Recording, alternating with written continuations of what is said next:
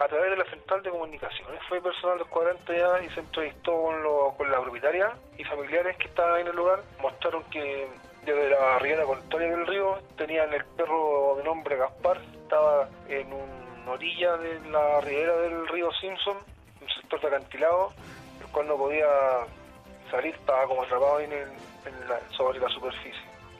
Me consultaron a mí qué es lo que, si era facilidad de pedir gobe, porque no hay otra forma de sacar al animal, o sea, nadie podía cruzar el río por el lado de la ribera de él, era imposible porque un acantilado de como 20 metros de altura, sin que no más, y que el animal cayó ahí al lugar quedó atrapado, así que pedí la coordinación nueva para facilitar el pedir el GOBE, quienes autorizándola y se concurrió dentro de su conocimiento estimaron que lo más favorable era cruzar el río con un bote para poder rescatar el animal.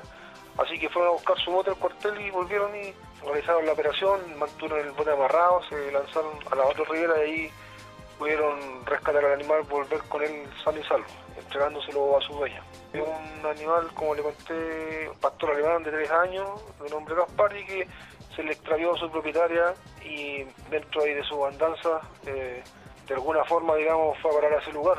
Son del sector del Claro y dentro de su, de su, rutina, digamos, ahí fue al lugar y ocurrió que quedó aislado en ese sector. Así que es un procedimiento exitoso.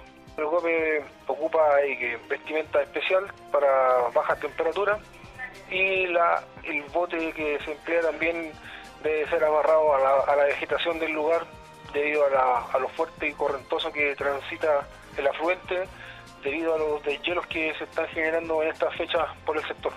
Unas tres horas aproximadamente de estado, desde que cayó hasta que fue rescatado. Se veía más como asustado, sí. En principio estaba como nervioso, tranquilo, pero después ahí el funcionario tuvo que darle la confianza para que se pudiera acercar y después tomarlo en brazos para subirlo arriba del bote.